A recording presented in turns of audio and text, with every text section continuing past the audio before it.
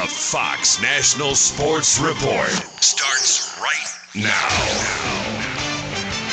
Andrew Bynum has a double double. I'm Julio Flores. Odom around the screen towards the baseline. Lobs inside for Bynum, who caught it and dunked it in. 27 for Bynum.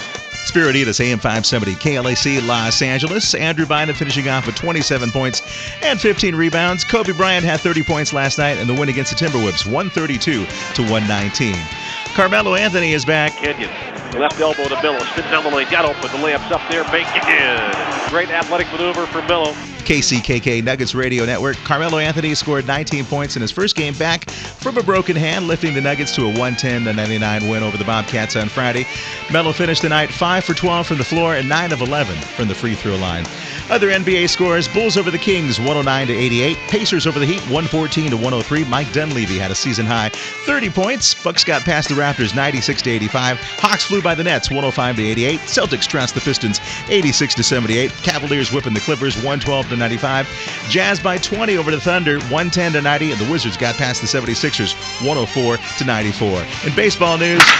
Joe Torre talked about his book, The Yankees Years, on CNN on Larry King Live. His take on A Rod. I know Alex, uh, he's a lightning rod. Everything he does, it always commands a great deal of attention. And, um, you know, that's something, I guess, that goes with the territory of being who you are, especially when you're playing for the New York Yankees. An AP source says Jason Varitek and the Red Sox are close to an agreement with a guaranteed 5 million for 2009 and player option of 3 million or a team option of 5 million for 2010. In the Australian Open, Rafael Nadal beat Fernando Verdasco in five sets. He'll be taking on Roger Federer for the finals on Sunday.